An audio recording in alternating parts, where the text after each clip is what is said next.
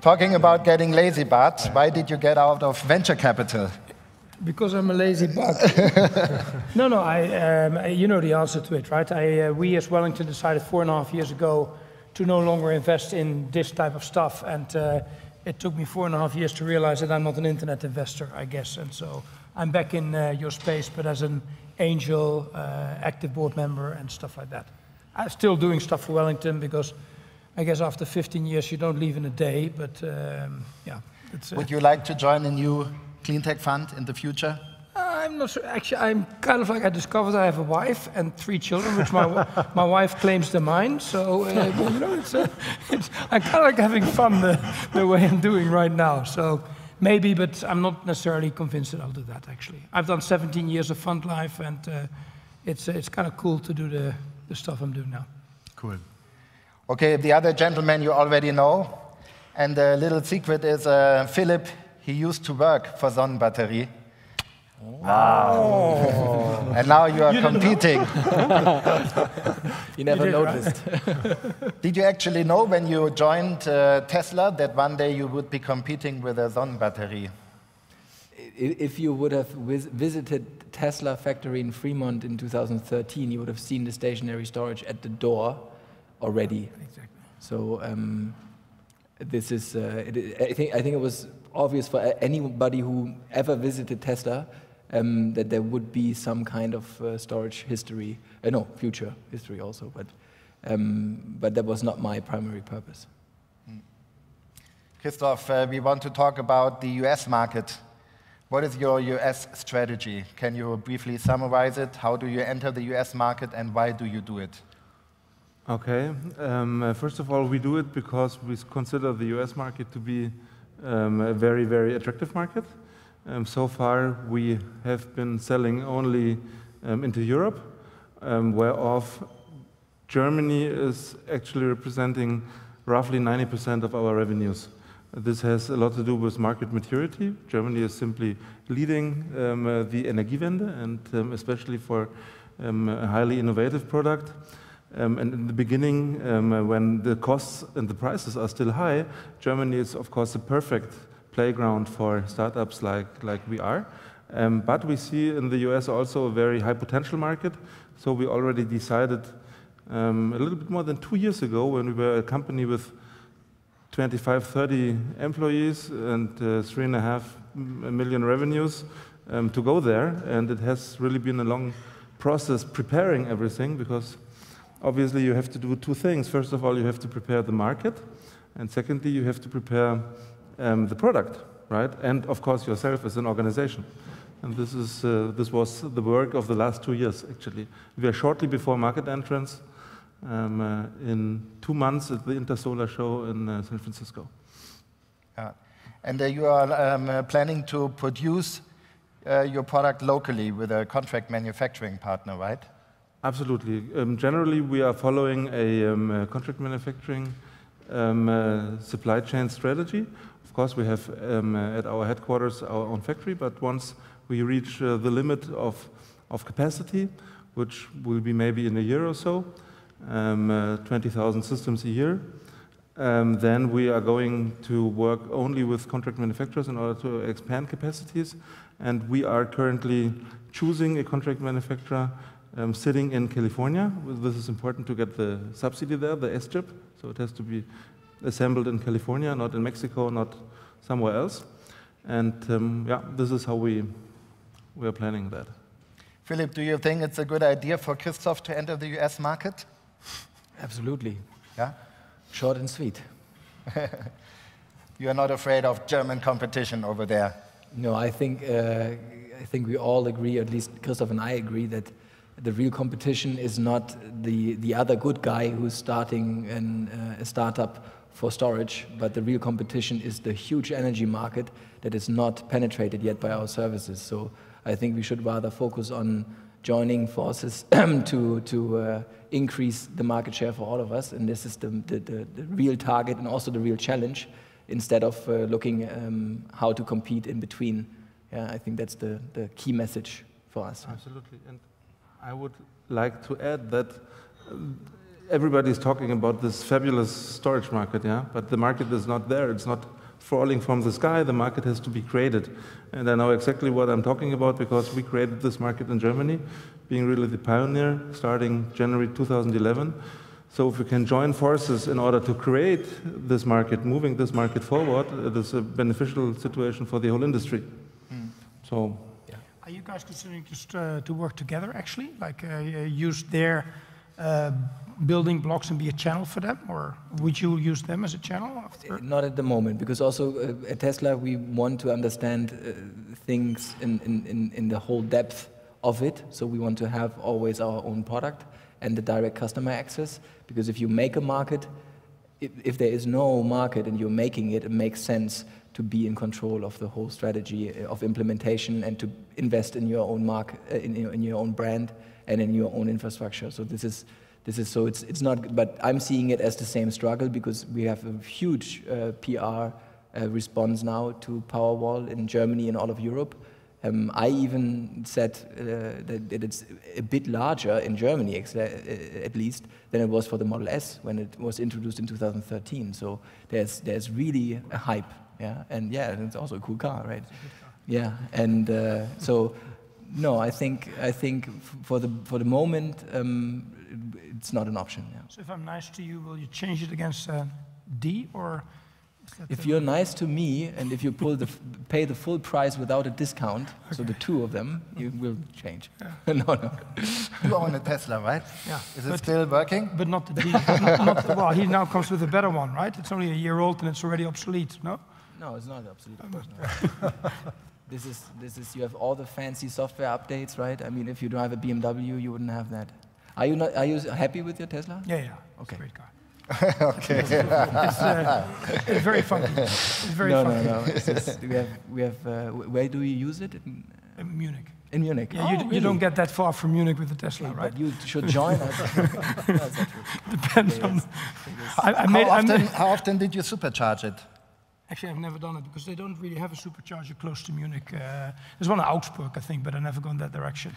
You, uh, I drove to uh, the Dolomites, and then uh, I thought, hmm, it's getting a little bit tight, so I looked for the nearest supercharger, and it was St. Anton. When was which, uh, this was in March. Somebody's, somebody's putting down my volume, or now it's back up. Yeah, exactly. Lucky this was in March. Yeah, no, no. I mean, in, in, if, if the, the next time, just go to teslamotors.com. We have uh, 37 superchargers in Germany you can go, you can go, go for free from, from Munich to Amsterdam, to Stockholm, to Oslo, to Côte d'Azur, to Geneva, to many, many cities, and more are coming. And to demonstrate this, we'll have 100 Model S um, joining the Electric Mobility Forum here in Berlin um, on the 15th of uh, June to demonstrate that they come from all parts of Europe and for free, and of course carbon neutral. Um, and I myself drove the P85D, the one with the lots of power, from Munich to Frankfurt, and it was was really it was really. Let's continue um, the uh, Tesla time. customer training after the panel. exactly. yeah, we only have 21 oh, minutes left, right? it took five minutes, right? It's, it's all about airtime. Yeah. yeah. But it really, uh, it, uh, it, really looks like uh, it's a complex product with all the supercharging service and, and that not all of your customers know exactly how, how powerful it is already works, or not. Yeah. Hugues, um, you are entering the American market. Why do you do it and how do you do it? I am curious to learn. Well, why do we do it? Because it's a big market with a lot of customers. so yeah. that's uh, most probably the first reason why we do it. Well, second, because in, in modeling and simulation, uh, it's, it's also an era where you've got uh, a lot of potential partners for the company. And we can learn a, a lot from them. And third, uh, because if we look at the future, uh, we believe that CoSMo will be financed not only by European investors, but also by, by American investors. So that the, these are the three major reasons. So you are actually uh, looking for American co-investors, and Christoph, you also look for American co-investors, right? As a principle, yes, but uh, not not really, not really yet. Not now, because, but soon. No, because we had our our B series round in uh, November last year. Hmm. Um, uh, we have now three European VCs on board, and um, well, my experience is that uh, it makes sense to first of all prove the pudding to show some traction in the States and then to talk to US investors, not before. So. But I want to ask you, you are going to and fro to the US and to Europe, and you have a couple of portfolio companies uh, that you brought to the US market. Most what are your key lessons on how to make business with them? Well, we, we kind of like made a, as, as Wellington, we made a, um, a, a, ploy of it, right? It's, it's kind of what we promise our startups, like we'll help them to go to the US and, and to be successful. So I probably spent the last 10 years, eight weeks a year in, uh, in California. And uh, I think the first observation is it's, uh, it's fucking hard. Um, and, and it's, it's hard for European companies because um, I think in Europe, uh, Bad news, huh? well, well, it's I, exciting too. Very exciting. No, well, it's, it's one. It's hard because uh, Europeans are just notoriously bad at selling stuff. And in the US, if you want to be successful, you need to be very good at selling something. So there's a kind of like a skills mismatch. And then the second thing which we found out is that uh, when you then go to the US and you hire a US team, it's almost harder to hire a really good US team than it is in Asia. Because when you're in China and you come there and you try to interview these people, you know, after five minutes, you realize, gee, these guys, they talk different, they look different, I don't understand it. So you very quickly realize, like, okay, I cannot be the judge of what the best sales guy for the Chinese market is. So you get help and you get people to do it. Now you're a German uh, startup and you go to the US and you think, well, they look like me, they talk like me, and uh, so you think, I can judge this. So you actually make this judgment. So you see German startups hiring the best sales guy from a German perspective, which most of the time, actually, which all of the time, is not the best sales guy for the US market. So uh, that'll be one of my biggest advices to any startup going to the US is they look like you, they talk like you, they are not like you. And so you, you better get some help in trying to get the right people on board. So that's, uh, that's probably the... How can you get American co-investors? I understand there is two types. One of them is allowed to invest in a European startup, and one only invests if um, the headquarters is American. What is your experience? And would you recommend these guys uh, to even shift the headquarters to yeah. the US? So the, my experience, to, to, to tag on to what you said, is that the ones uh, uh, that are allowed to invest in European companies are the ones that like that European company. And then suddenly they're allowed to invest in a European company. And if they're not allowed, that means they don't like the company typically. I think there's, uh, there's always ways to do it. Uh, some of the funds indeed um, uh, can only invest in the Delaware Inc., but you know, in the end of the day, that's quickly set up. And then there's even structures where you know, you just, so we, have done that many times. Um, so I think um, there is just, um, the US guys, when they invest in a European startup, they typically like to have someone on the ground that they know, that they've worked with before. So I think if you're selecting your uh, European VCs, uh, it makes sense to take those that have actually done deals with uh, the US guys before, so that they, you know, they talk that language, they've got some experience, and uh, that, that's, I think, is one of the things that we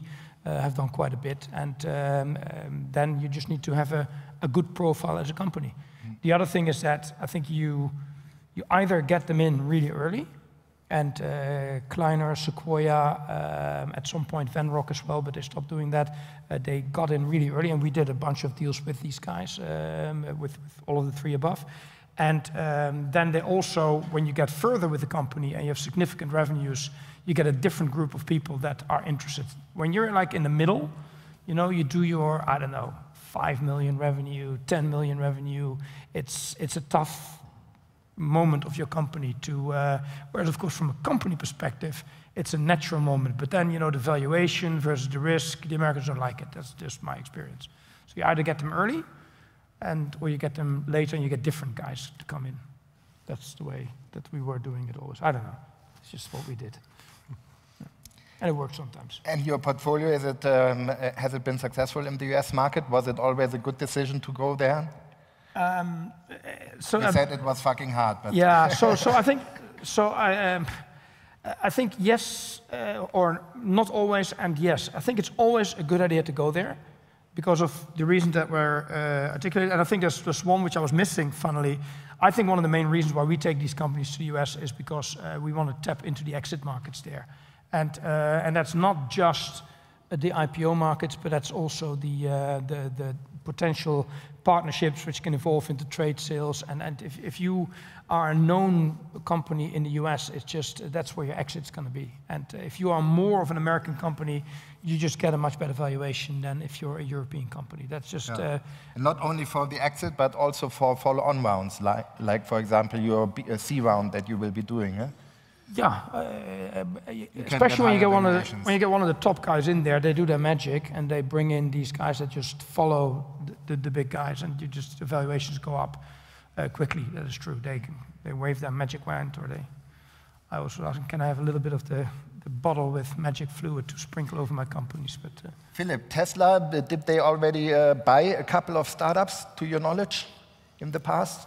I'm, I'm not involved in the M&A, so um, I just what I know is that there is uh, that there's a couple of uh, um, small smaller companies along the value chain that Tesla has already purchased. Some of them just uh, quite recently, mm. and um, also Tesla has the known approach and target of um, having critical whatever we deem critical within the value chain, um, and that's a very broad perspective. Um, we want to control ourselves. Um, so I think there's the tendency in the future that uh, Tesla probably will have. Mm, they don't necessarily have to be startups. They could be also smaller companies that are around for a long time but have a value in themselves that is of specific interest for Tesla, and that's what Tesla is doing at the moment already.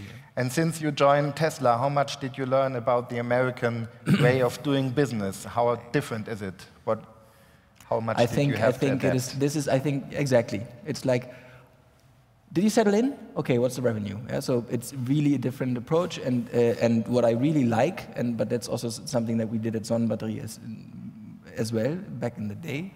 Um, is that you're really hands-on. So you're not thinking too long about, you know, what could be the perfect way. You're like, you know, this is the direction we want to walk. Let's take something forward in there, and the feedback from the market and from, very, from a big group of intelligent young guys, this will actually form the product itself. Yeah, so, um, and this is, I think, something Germans tend to uh, sit in the laboratory to figure out the perfect product for a market that is not even evolved yet, and that's a huge issue, yeah, because you'll never have the perfect product, and, uh, and you, you, you need to find something that you can sell once.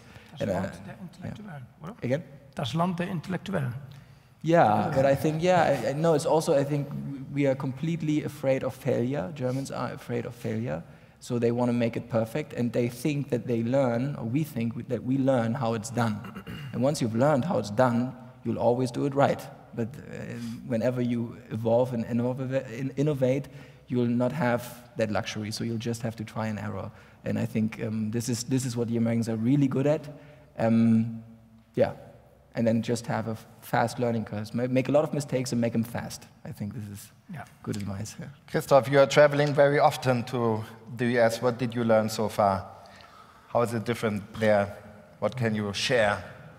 Well, I, uh, I, share I share the experience. They look the same, but they're not the same, of course. But um, uh, uh, I think it was, it was wise to take the time to learn a little bit of the system was very wise in terms of investors. I showed up with a, as, a, as a small Bavarian company with three and a half million revenues, and I told them, listen, I don't want money from you. I just want to explain you my business model, and I want, I want to be on your watch list, and this is it. And this uh, puts us actually in a, in a quite good position because um, from time to time I revisited them, and, uh, and um, they learned that what I promised was actually more or less as usual fulfilled, but um, uh, now uh, we are already at a very good, good position. Um, I learned also about business, but as Philipp already mentioned, I think we have um, a, a, pretty similar approach. We are just we are just doing things, and we are not so much um, German regarding our engineering approach. So our this is also why we are in the fifth product generation because we are simply doing it. We are learning, and we are learning fast, and we are developing our product, we are developing our company, we are developing the team. This was pretty good. And I think it was also a good decision to work from the beginning with the locals and with advisors on the legal side, on the business side, in order to, to develop the business even without a product from scratch and without time pressure. Yeah. And you have uh, channel partners, right? You announced a deal with uh, Sungevity. Why I did announce, announce that? You announced it, no? You, I, I, so, yeah, yeah, I did, I did, absolutely. Uh, it was just announced. Oh, No, Jan. no. are you crazy? Don't For the Powerwall no. uh, um, press uh, meeting, you sent out the press release with the Sungevity deal. Oh yes, but it's coincidence. Just the day before, it was not uh, on purpose. no, but yeah, this actually we this is one of uh, uh, the partnerships we are going for in the U.S. Sungevity. It's a very important partnership for us, and there are other partnerships to be announced in the coming weeks. Yeah, and there's the Sungevity deal, it, it will be a white label uh, Sonnenbatterie, and they put their logo on, Yes, and they sell it, and they install it, and they monitor it, and absolutely, everything. absolutely. And they get a nice margin for it. But they had to Hopefully, yes. pre-order. did they have to have? Uh, did they make a pre-order from you? Well, our general um, uh, strategy from Europe, we will do it with small adaptations in the US as well.